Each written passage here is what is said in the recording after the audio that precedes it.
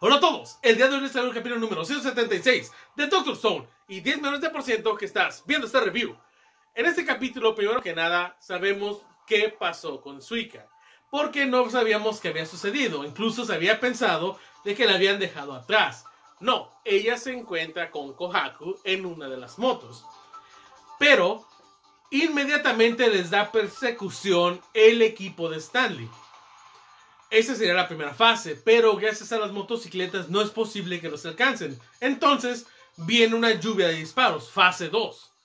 Sin embargo, es donde entra el doctor Zeno diciéndoles, ah, disculpen, el rehén hablando, ¿no creen que sería bueno que me pusieran a mí en la parte de atrás para que no pudieran dispararme? Y Hyoga inmediatamente dice, ah, sí, por supuesto. Y lo acomoda. Pero luego reacciona así un poco diciendo, espera, no es una trampa, ¿cierto? No, no puede ser más listo que yo. Y nos damos cuenta de que no solamente puede dar información para que lastime a las dos grandes potencias de batalla, que es Hyoga y su casa, queden lastimados por los disparos de Stanley, el cual logra atinarles incluso dentro de una cortina de humo generada por las motocicletas. Pero ahí no se acaba esto. Como seguía atrás, logró darles coordenadas e instrucciones de cómo ganar. Y en este caso viene lo que es el avión. Se acerca peligrosamente. Y justo cuando Stanley ya está. están acabados. El avión cae. Y se estrellan. Esto fue porque Senku dijo, ok, nosotros eliminamos a uno de los aviones. Bien, pero el de nosotros seguía funcionando. Lo que hicimos fue prepararlo para que no pudiera ser mal usado por nuestros enemigos. Y en este caso, Stanley cayó en esta trampa. Lo único que hicieron fue ponerle azúcar al tanque de gasolina. Para el momento en el que ellos revisaran ya el motor estaba estropeado, ya no, ya no era necesario hacer algo más. Por tal motivo, tronó a mitad del aire y les dio la ventaja de que pudieran escapar.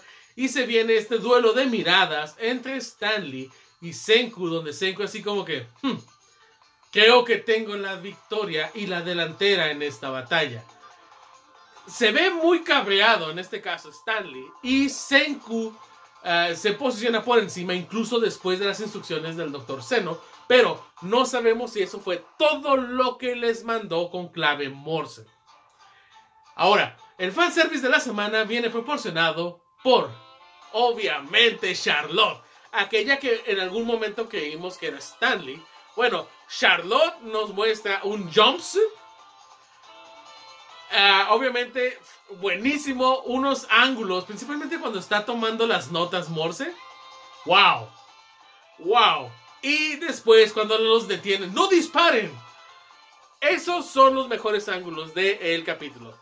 Aún así, me encanta que Senku estuviera dos, tres pasos adelante y que tuvieran planes, pero aún así, con sus eh, principales guerreros mermados, hay que ver si va a haber alguna repercusión más adelante o tengan que separarse debido a que no pueden continuar por las heridas. Va a ser importante esto porque actualmente no hay un, una forma de que los puedan curar. Estoy de acuerdo que pudieron haberse traído muchas cosas del barco, pero todos los utensilios médicos tienen que estar eh, esterilizados y prácticamente si la bala quedó dentro tienen que extirparla. No puede quedarse ahí a pesar de que Luna es una muy buena operadora, no necesariamente tiene todos los utensilios para poder hacer una operación en una motocicleta. Aunque bueno, ese, es Senku bien pudo haber previsto esto. Es todo. Recuerda que si te gustó el video, que me gusta, compartir y suscribirte para que el canal siga creciendo. Gracias, ya hasta luego.